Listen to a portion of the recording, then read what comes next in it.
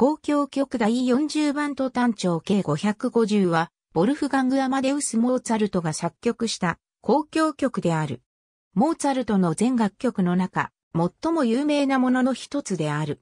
モーツァルトの交響曲のうち単調のものはこの作品を含めてわずか2曲しかなく、その両方が都単調であるため、こちらを大都単調、もう一方の交響曲第25番をショート単調と呼ぶことがある。第40番はトランペットとティンパニが用いられていないほか、第25番とは全体の構成、調整の選択、移行の仕方など、かなり多くの点で類似が認められる。1788年7月25日にウィーンで完成された。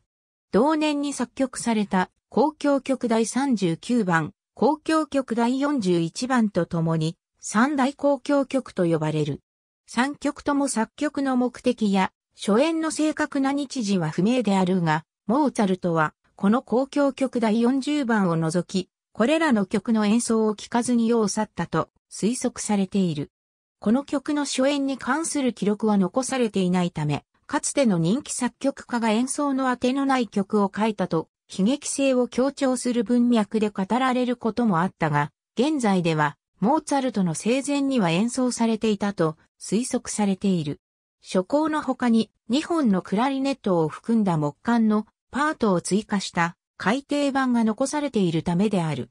モーツァルトが実際に演奏する目的なしに曲を改訂するとは考えにくい。また、第二楽章の一部に差し替えようの楽譜が残されている。この楽譜は1789年2月以前に書かれたことが分かっており、1788年の演奏会のために作られたと考えられる。1789年のベルリン旅行と1790年のフランクフルト旅行では、モーツァルトが自分の交響曲の楽譜を携えていったことは確かである。